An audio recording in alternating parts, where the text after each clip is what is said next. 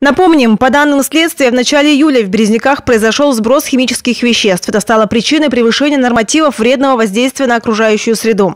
6 августа Западноуральское межрегиональное управление Росприроднадзора признало Березняковский содовый завод виновным в совершении административного правонарушения и назначило предприятию штраф в 150 тысяч рублей.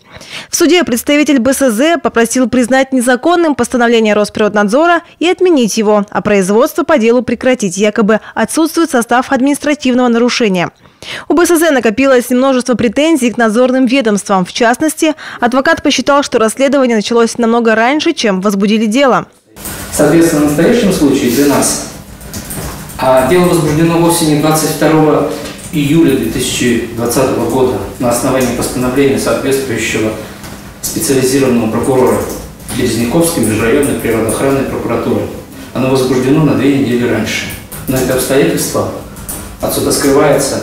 Также в деле защитник нашел несоответствие в технических терминах. По его мнению, проверяющие использовали некорректные определения. Такого элемента, как подошва шломонакопителя, действующее законодательство не знает. Вот как я должен понимать, откуда и чего там вытекало, по мнению лица, который это написал.